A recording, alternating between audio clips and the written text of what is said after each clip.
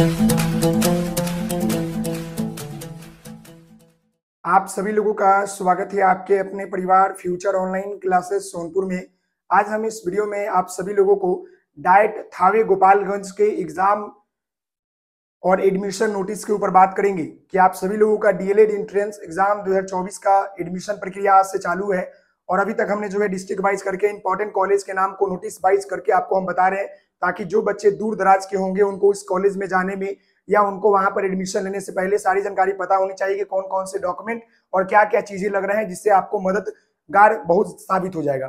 तो मैं अभी आप सभी लोगों को डायट थावे गोपालगंज के एडमिशन नोटिस जारी हो चुका है और वहाँ पर मैं आपको बताने वाला हूँ कि आपको जो है डाइट थावे में जो है एडमिशन के दौरान कौन कौन से डॉक्यूमेंट लगेंगे, कितना पैसा लगेगा क्या क्या पीडीएफ लगेगा वह सारी जानकारी इस वीडियो में हम देने वाले हैं। साथ ही साथ इसका पीडीएफ आपको जो है इस वीडियो के नीचे डिस्क्रिप्शन में लिंक और आपको जो है टेलीग्राम का लिंक मिलेगा, वहाँ ज्वाइन कर लीजिएगा। ये पीडीएफ मैं वहाँ पर प्रोवाइड करा दे रहा हूँ। साथ ही साथ अगर आपको किसी ज़िले के कॉलेज के बारे में कोई भी नोटिस जानकारी हो तो आप मुझे भेज सकते हैं। मैं यहाँ पर एक नंबर लिख देता हूँ। इस नंबर पर आप जो है किसी भी प्रकार की कोई जानकारी अगर आपको मिलता है, किसी भी कॉलेज का नोटिस है तो आप भेज सकते हैं। और ये मैं आपको बताना भूल गया कि यह जो नोटिस आपके जो है डाइट थावे गोपालगंज का नोटिस भेजने वाले का नाम जो है, मैंने यहाँ लिखा है। सुजीत सिंह जी है, इनको मेरे तरफ़ से बहुत बहुत धन्यवाद, हमारी टीम की तरफ़ से बहुत बहुत धन्यवाद कि उन्होंने जो है नोटिस भेजा ताकि हम आपको बता दें जिसके क्या कारण क्या है कि हमारे बिहार के अनेक बच्चों को मदद मिलेगी। समझ गए? तो यहाँ पर ध्यान दीजिएगा, जिला शिक्षा एवं प्रशिक्षण संस्थान diet Thawe Gopalganj,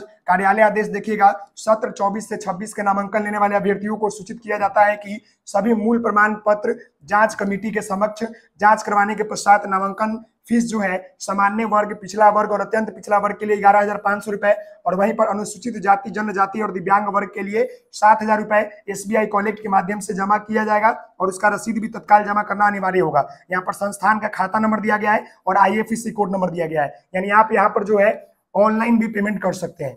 online payment कर सकते हैं यहाँ पर और इसका पेमेंट कर कर, इस ये वाले खाता नंबर और ये वाले जो है आईएफएससी कोड नंबर पर पेमेंट करके आप जो है उसका चला मतलब कि प्रिंट आउट निकलवा कर दोगो, एगो जमा कर लीजिएगा, एगो खुद के पास रख लीजिएगा। यहाँ पर फ़ोन पे वगैरह कर सकते हैं, ऑनलाइन कर सकते हैं। क्योंकि यहाँ पर अकाउंट नंबर दिया गया है आईएफएससी कोड नंबर दिया गया है। ये डायरेक्ट गोपालगंज थावे में।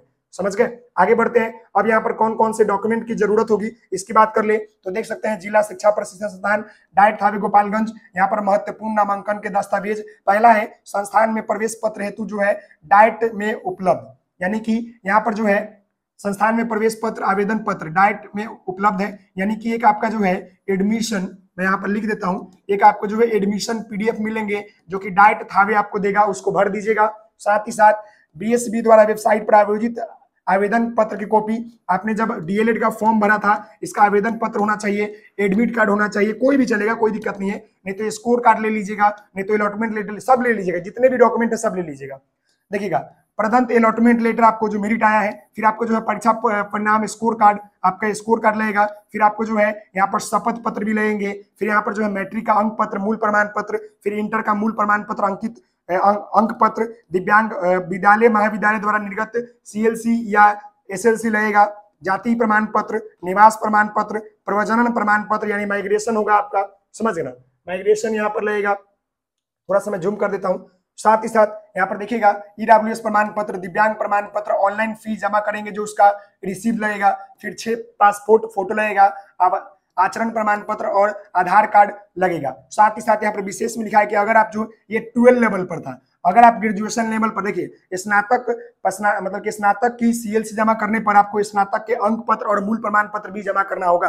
अगर आप ग्रेजुएशन का सीएलसी देते हैं तो ग्रेजुएशन का मूल प्रमाण पत्र और अंक प्रमाण पत्र देना पड़ेगा। समझे ना? साथ ही साथ सभी दस्तावेज़ का दो दो फ़ोटो कॉपी कर जमा करना होगा। ये सारे आपके डॉक्यूमेंटेशन डाइट थावे गोपालगंज में लगेंगे। साथ ही साथ ये आपका शपथ पत्र का जो है, देख सकते हैं, यहाँ पर लिया गया है। यहाँ देख सकते हैं कि शपथ पत्र आपको यहाँ पर नज़र आ रहा है। समझ ना? देख सकते हैं, यहाँ पर डाइट देखिए यहाँ पर लिखा हुआ है डाइट थावे गोपालगंज, डीएलएड सत्र 24 से 26 में नामांकन हेतु शैक्षिक अंक एवं प्रमाण पत्र। ये आपके, इसका पीडीएफ आपको मिल जाएगा। ये आपका शपथ पत्र है, जिसका पीडीएफ फॉर्मेट है। समझ ये शपथ पत्र का इसका फॉर्मेट है। इसी तरह आप जो एडमिशन ले सकते हैं तो आशा करते हैं जो बच्चे डायरेक्ट थावे गोपालगंज से बिलोंग करते हैं, उनको ये वीडियो काफ़ी मददगार साबित हुआ होगा। तो आप सभी लोग इस वीडियो को अधिक से अधिक शेयर कीजिए लाइक कीजिए, और बहुत जल्द हम आपके पूरे डिस्ट्रिक्ट के जो है, जैसे जैसे नोटिस आएँगे, वैसे वैसे बताने का काम करेंगे, क्योंकि हम पूरे ज़िले का तो जा नहीं सकते, लेकिन हम बच्चों के साथ मिलकर, हमारे बच्चे जो है काफ़ी मेहनती है, वो सब मिलकर हम लोग आगे बढ़ रहे हैं और आगे बढ़ते रहेंगे, ओके? बहुत बहुत धन्यवाद, और सुजीत जी को बहुत बहुत दिल से धन्यवाद देने के लिए पीडीएफ ओके? बहुत बहुत धन्यवाद।